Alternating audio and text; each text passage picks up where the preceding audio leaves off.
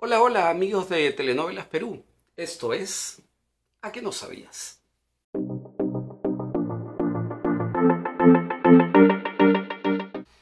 ¿A que no sabías que en los primeros años de la década del 80, en el cuarto piso de Panamericana, en los estudios de RPP, los Delgado Parker crearon un estudio de doblaje?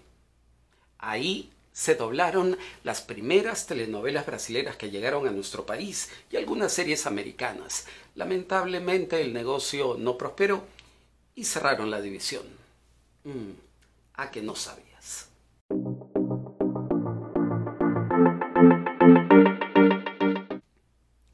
Si quieres comunicarte con nosotros, nos puedes escribir a cualquiera de nuestras redes sociales.